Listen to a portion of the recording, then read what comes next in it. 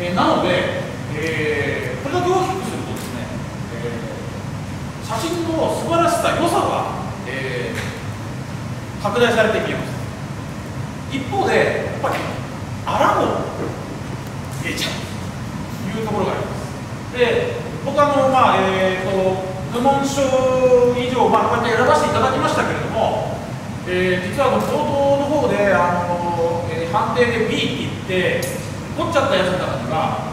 多分ピントがドンピシャで合ってれば A どころかこの中に入ったであろうと作品がいくつもあります。でそれぐらい僅差だったというふうに思ってください。あの僕ここで一回なんかため息ついたりとか惜しいなとかって思わず声を出しちゃった作品があります。まあ、例えばクマが映ってます。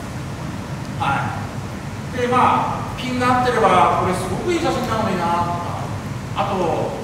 えー、眼鏡外して近寄って見たものは、まあ、大体僕もちょっと老眼が最近進んでますんであのプリント近いところに見るときに眼鏡外すんですけどやっぱり画量転線を書くっていうことわざがあるようにやっぱりそのプリントの時点で、えー、あるいはその、えー、画質を補正している時点で、えー、かなりちょっとあの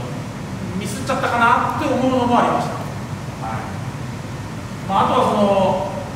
多分ですね暗いところとか明け方とかそういう時に撮ってるやつで、えー、カメラで高感度精度がすごく上がってるもんですから、え、シャッタースピードを稼ぐために高感度の設定で撮ってるんだろうなと思うんですけどその分粗さが見えちゃう、えー、荒くなっちゃう。本当であれば、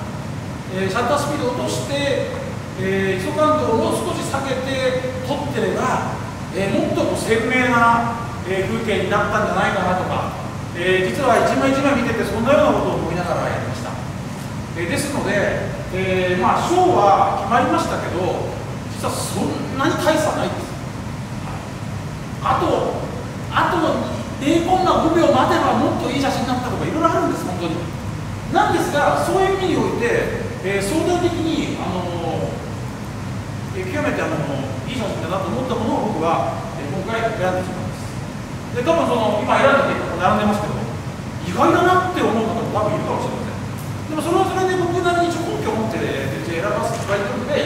えー、まあ、この写真の何が良かったかなとかどこが惜しかったかなみたいな話を、えこれからさせていただきます。